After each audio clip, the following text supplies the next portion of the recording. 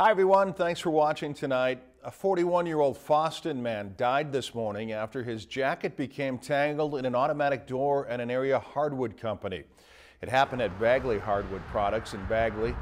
Police Chief Larry Peterson says the man was standing next to a storage building door measuring roughly 40 feet wide and 20 feet high when it started going up, lifting him to his death. The name of the man has not been released. Minnesota Occupational Safety and Health is assisting police in the investigation.